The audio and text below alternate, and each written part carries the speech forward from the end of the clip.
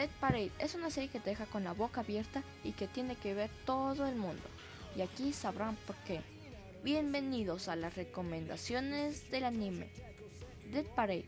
En un lugar en el que se juzga quién va al cielo y quién va al infierno, como al parecer por la explicación del más guapo y protagonista de la serie, dice que el cielo no es más que la reencarnación y el infierno no es más que el alma vagando solo y sin rumbo.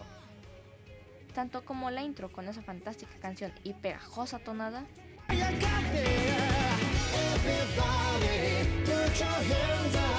te deja esta serie unas grandes impresiones, un buen sabor de boca y cómo va la historia. Es rápida, no te deja con dos capítulos de introducción, sino como la historia te lleva a las primeras muertes. Lo mejor de Dead Parade es a lo que muchas series le fallan, y es su final.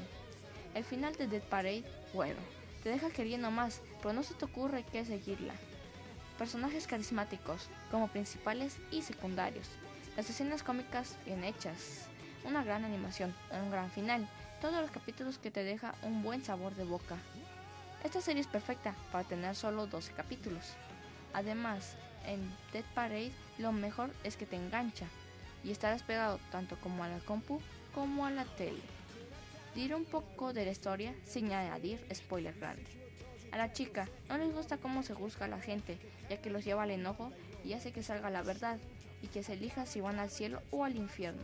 El tipo sexy y sin una aparente expresión de felicidad es el que juzga y elige si van al cielo o al infierno, aunque claro, le envían los recuerdos a esas personas y tiene que ser si es verdad. Ja. Ah, la jefa, la chida chida, aunque hay una superior de ella, que al parecer es un dios. Vigila a ver si todo está bien y busca hacer algo peculiar. Fin del spoiler, ¿ok?